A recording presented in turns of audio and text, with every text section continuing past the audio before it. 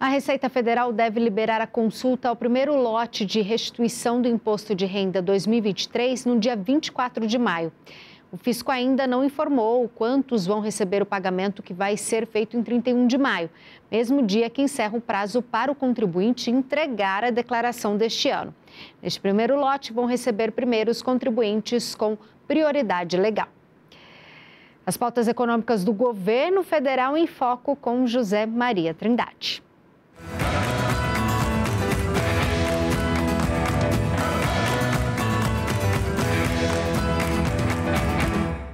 Salve!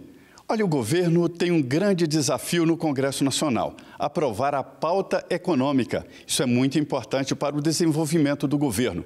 E há resistências, e essas resistências estão crescendo.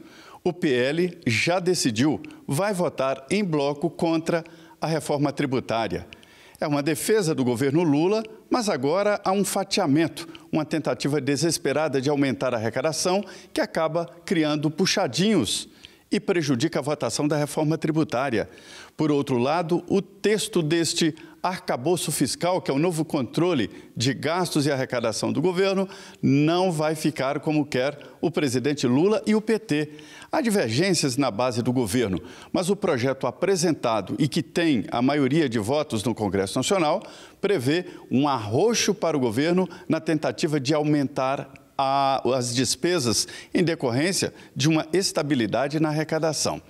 Veja bem, esse arcabouço apresentado pelo ministro Fernando Haddad prevê um aumento de arrecadação de 150 bilhões de reais.